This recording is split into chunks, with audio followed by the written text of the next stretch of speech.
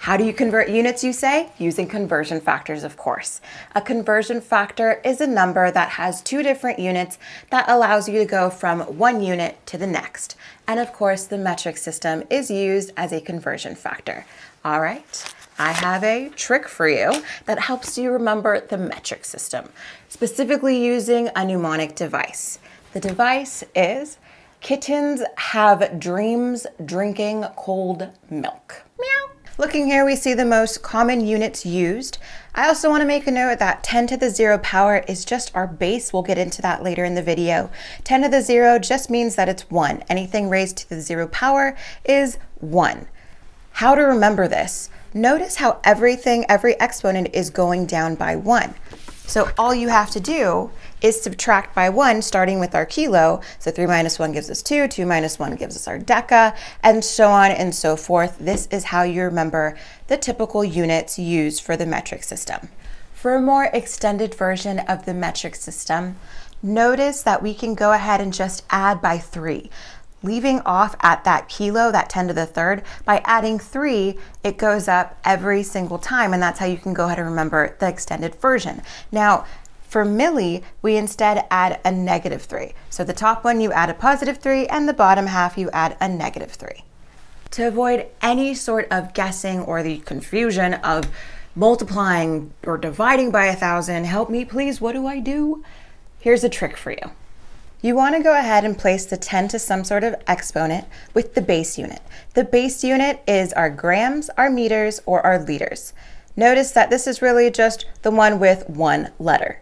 Next, you want to go ahead and place the one with the different unit. By different unit, I mean kilograms, centimeters, milliliters. The other different factor that we can go ahead and see is that the base unit only has one letter, the different unit has two letters. For example, the 10 to the third goes with our base unit, which is our grams.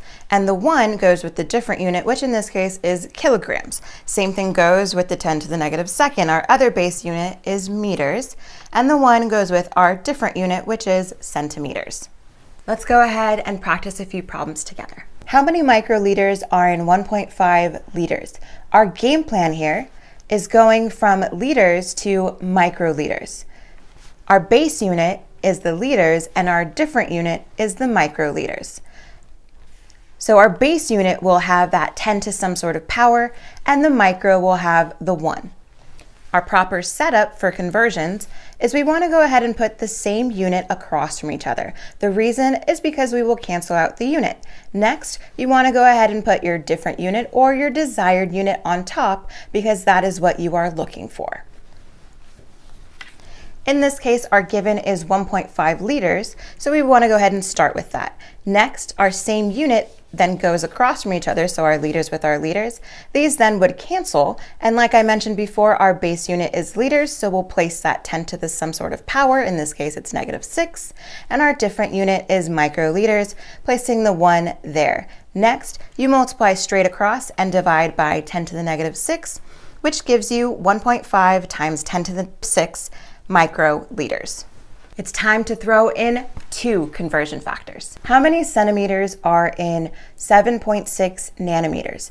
Our plan is going from nanometers, then to meters, then to centimeters. You cannot just connect nanometers to centimeters. You need some sort of bridge, which is meters, to connect both units together. Our setup will then look something like this, where we have our same unit, which is in this case our nanometers, across from each other so they can cancel. Next, we'll get to meters. Those two units will then be across from each other so they can cancel. And our last unit on top is what we're looking for, which is centimeters. So our setup will look like this. We're going to go ahead and start with our given, which is 7.6 nanometers. We want to go ahead and place the nanometers across from each other. Notice that we will have that 1 going with our different unit, which in this case is nanometers. Next, it, we're going to go to our meters, which is our base unit, and we'll have that 10 to the negative ninth on top. Next part will be that our nanometers will cancel and our meters will also cancel because we want to go ahead and place them across from each other.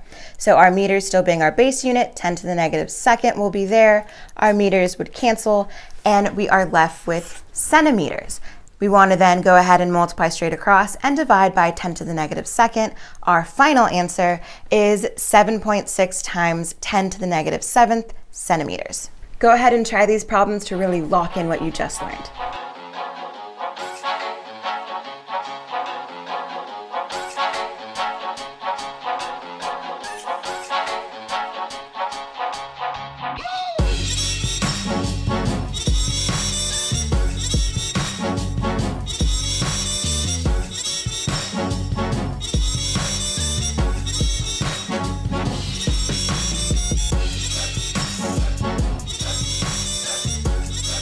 How'd you do?